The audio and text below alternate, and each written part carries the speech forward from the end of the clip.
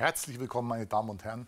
Kaum sind die Chinesen aus ihren Feierlichkeiten zur Jahreswende in China zurück und schon geht es wieder ein bisschen nach oben mit dem Goldpreis, zumindest ein klein bisschen. Also heute Morgen hat schon ein bisschen besser ausgesehen, aber mittlerweile schon wieder einiges von den Gewinnen abgegeben. Ich glaube, wir waren über 10 Dollar im Plus gewesen. Mittlerweile sind es, glaube ich, noch 6 Dollar gewesen, zumindest als ich hier in den Raum betreten bin. Das Zeichnen an der Wand geht nicht. Das ist für Sie wahrscheinlich auch nicht so überraschend. Ähm, der Goldpreis pendelt nach wie vor um die Marke von 1200. Ähm, wir hätten hier vielleicht eine ganz gute Unterstützung noch im Markt. Die 1190 als Unterstützung haben jetzt gleich zweimal gehalten. Ähm, bisschen überraschend vielleicht gestern die, die Rede der US-Notenbankchefin Yellen, die so gesagt hat, okay, wir denken nicht über eine rasche Zinserhöhung nach. Eigentlich hätte das den Goldpreisauftrieb geben müssen, rein aus fundamentaler Sicht. Sie wissen ja, steigende Zinsen sind so ein Schreckgespenst für den Goldpreis, weil das ja so ein bisschen so, man sagt immer, Gold zahlt keine Zinsen, aber dann hat man immer sagen können, Bargeld ja auch nicht im Moment. Jetzt so eine Zinserhöhung wäre natürlich eigentlich schlecht für den Goldpreis, wenngleich wir auch wissen, dass in der Vergangenheit schon einen Zyklus gegeben hat, so ja, Mitte der 2000er, wo wir steigende Zinsen hatten und einen steigenden Goldpreis. Also kurz, äh, lange Rede, kurzer Sinn. Janet Yellen hat sich äh, gestern zu Wort gemeldet, hat gesagt, okay, wir wollen da momentan keine schnelle Zinsanhebung ähm, machen. Und das heißt, man will erstmal das Wort Geduld aus dem Kontext streichen und dann vielleicht irgendwann später eine, eine Zinsanhebung machen. Eigentlich hätte es den Goldpreis beflügeln müssen, tat es aber nicht. Also wie gesagt, momentan sehr, sehr lethargisch die ganze Geschichte. Alles pendelt so ein bisschen um die Marke von 1200 Dollar. Ähm, beim Silber sieht es im Prinzip ähnlich auch aus. Auch der Silberpreis ähm, pendelt momentan so ein bisschen vor sich hin, so ein bisschen unentschlossen um die Marke von 16 Dollar und 50 Cent herum. Ähm, alles nichts Dramatisches, aber Sie haben wahrscheinlich gesehen, sowohl beim Gold als auch beim Silber liegen wir weiterhin unter der Marke bzw. unter der 200-Tage-Linie, die wir hier eingezeichnet haben, die gelbe Linie bei beiden. Bei Gold haben wir schon mal drüber gespitzt, ähm, bei Silber sind wir genau abgeprallt, also alles charttechnisch so ein bisschen momentan im Niemandsland. Ähm, der Ausbruch nach oben dürfte sehr, sehr schwierig werden. Aber, nun ja, wir werden sehen, wie es weitergeht. Also momentan so ein bisschen richtungslos das Ganze. Aber Richtung hat es sehr wohl gegeben. Und zwar bei Einzelaktien. Wir müssen kurz reden über den weltgrößten Goldproduzenten. Zumindest denke ich, dass das der Chart ist, der als nächstes kommt. Richtig. Und zwar über Barrick Gold. Barrick Gold, das letzte Mal habe ich gesagt, ähm, Lumwana-Mine in, in Sambia, die Kupfermine. Es gab Streiks, 2000 Arbeiter haben die Arbeit niedergelegt. Warum? Naja, Barrick hat gesagt, wir werden die Mine dicht machen, und zwar ein einfacher Grund, weil die Royalty, also die Abgaben auf, auf Bergwerksbau in Sambia sollten ganz beträchtlich steigen, insbesondere beim Tagbau, wo eben die Lumbana-Mine im Tagbau betrieben wird. Naja, dann haben die Arbeiter den Streik niedergelegt und haben gesagt, wir wollen gerne wissen, was wird aus unserer Zukunft, wenn das Werk dicht macht, wenn die Mine dicht macht. Da hat sich die Regierung zu Wort gemeldet und hat gesagt, auch wenn das Werk dicht macht, ihr behaltet eure Jobs, was so viel heißt wie, ja, die Mine wird vielleicht dann als staatliche Mine weiter betrieben. Ich bin der Meinung, es deutet sehr viel darauf hin, dass man sich einigt, vielleicht sogar in letzter Minute sich einigt, dass die Royalty nicht so stark angehoben wird wie vielleicht gedacht, vielleicht ein klein bisschen einfach, um auch ein paar Staatseinnahmen zu generieren. Aber ich glaube nicht, dass es sich Sambia leisten kann, 2000 Arbeiter einfach so in die Arbeitslosigkeit zu entlassen. Noch dazu, wenn man das Versprechen gegeben hat, dass es nicht passiert. Ich denke, hier steht eine Einigung im Raum. Ähm, was haben wir noch? Newman Mining. Und zwar habe ich Newman Mining aus einem ganz einfachen Grund dabei. Ich möchte Ihnen mal zeigen, wie ein Chart auch aussehen kann. Also Newman Mining war so ein bisschen so die vernachlässigte Aktie. Sie wissen vielleicht, es gab immer so ein bisschen Fusionsgerüchte zwischen Barrick Gold und Newman Mining. Da hat man sich in den letzten zehn Jahren ein paar Mal angenähert und jedes Mal wurde das Ganze wieder zu den Akten gelegt. Jetzt mit der neuen Führung bei Barrick, naja, man könnte so überlegen, vielleicht ähm, könnte da wieder so ein bisschen eine Annäherung stattfinden. Aber Newman schafft es auch ganz gut aus eigener Kraft. Also man hat ähm, jetzt ähm, mit den Zahlen, das war dieser letzte Anstieg, wo alle Aktien so ein bisschen, so die Goldaktien so mit dem Goldpreis ein bisschen gebröckelt sind, hat Newman mal in die andere Richtung eingeschlagen. Warum? Man hat ergebnisseitig überrascht, man hat ein sehr gutes Ergebnis vorgelegt, also EPS über den Erwartungen gewesen. Warum? Man kommt eigentlich mit den Kostensenkungsprogramm wesentlich schneller voran als gedacht. Die Kosten lagen unter den eigenen Prognosen. Man liegt ungefähr bei 1002 oder 1003, nageln Sie mich nicht fest, Dollar je Unse. Kommt, glaube ich, auch auf den einzelnen Dollar, Dollar jetzt nicht an. Und da schafft man es eben auch in einem sehr, sehr schwierigen Umfeld für Goldproduzenten nach wie vor Gewinne zu erwirtschaften. Man wird vielleicht auch noch den einen oder anderen Anteilsverkauf vornehmen, um noch ein bisschen die Schulden zu reduzieren, um das Finanzergebnis noch ein bisschen zu, zu, zu drücken. Außerdem Newman profitiert natürlich auch vom ähm, im Verhältnis zum US-Dollar schwachen australischen Dollar, weil man, ich glaube, vier oder fünf australische Minen hat. Dort natürlich die Arbeiter in australischen Dollar bezahlt, aber den Gold sehr wohl auch in US-Dollar verkaufen kann dann. Also Human Mining schaut sehr, sehr gut aus. 12 Monats hoch die Aktie. Äh, da kann man eigentlich nicht meckern. Ähm, ist eine Aktie, die sich durchaus mal genauer anschauen können, wenn Sie sagen, ja, das ist so eine prozyklische Geschichte, ich spiele diesen Ausbruch jetzt. Ähm, ich glaube, Newman ist nicht die verkehrteste Wahl, zumal ich glaube, bei einer möglichen Fusion würde Newman als Sieger hervorgehen bei Newman Barrick. Aber wie gesagt, das ist jetzt nichts Aktuelles, das ist einfach mal nur so ein Gedankenspiel. Ähm, was haben wir noch?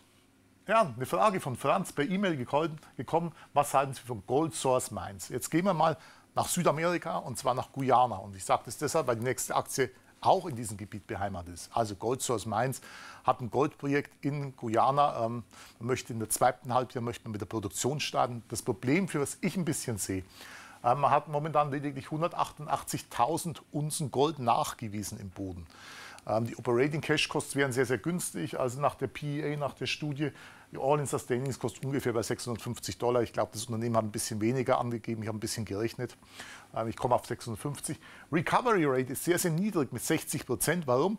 Man möchte das Gold aus den übrigen Gesteinen ohne Einsatz oder größtenteils ohne Einsatz von Chemikalien drin. Man möchte es vor allem mit ähm, Gravitationsverfahren machen, also mit einer Zentrifuge.